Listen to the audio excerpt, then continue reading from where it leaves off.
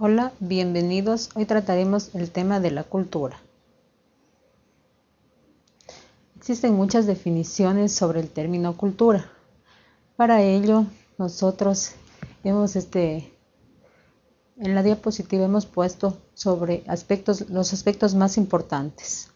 La cultura como producto de la interacción social de un grupo. No se refiere a la interacción social del individuo. Dentro de las formas de vida de la sociedad existe un modo de, pensar, de actuar y de sentir. Siempre va a regir la relación el hombre y el medio ambiente y para ello va a ser intermedio la cultura. La cultura se manifiesta a través de los modos del comportamiento de una sociedad o de un pueblo. La cultura además es el distintivo del hombre, él la crea y la usa. Eh, podemos también decir que la cultura es todo lo que es la realidad en la que estamos viviendo. La cultura es nuestro vivir diario en realidad.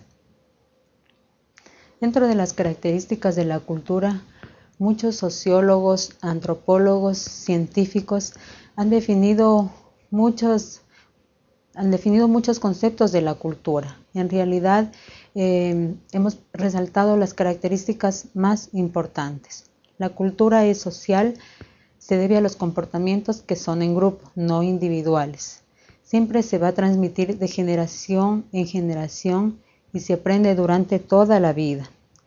Es acumulativa, es fruto de la acumulación de conocimientos y experiencias de un grupo.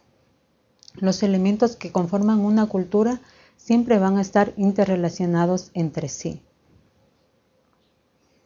Dentro de los aspectos de la cultura es importante recalcar la organización económica que se refiere a la producción, agrícola que utilizan cada una, por ejemplo, de las etnias, de los, de los indígenas, de cada congregación en la que se basa eh, más, su economía se ha basado siempre en la agricultura, en la cosecha del maíz, de, de frutos, frutos secos, verduras, etc.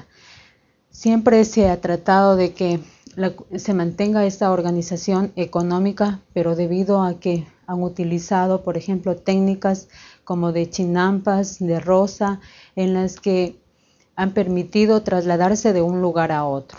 Dentro de la organización social, la pertenencia a un grupo implica muchos deberes eh, y obligaciones que siempre este, van a ser diferenciadas de una sociedad a otra.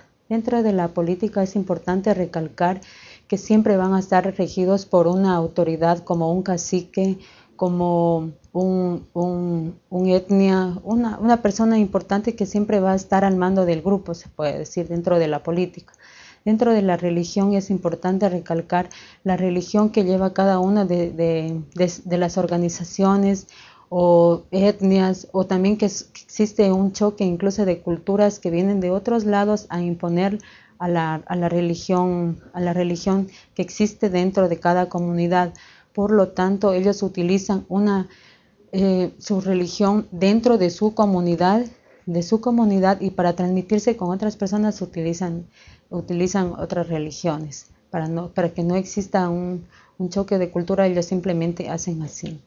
Dentro de las lenguas es importante recalcar que cada, cada, que cada etnia, cada, se puede decir, cada etnia este, tiene su, propia lengua, quichua, eh, aguas, existen una infinidad de lenguas que cada comunidad tiene. Dentro de las costumbres y tradiciones es importante recalcar que, que estas se las realizan anualmente como el Inti Raimi, que es dedicado al sol, al Inca, eh, el Capac Raimi. Existen muchas infinidades de costumbres y tradiciones que, que que, esperamos que no se, no se pierdan, sino se mantengan y que de generación en generación este, se sigan cultivando. Gracias.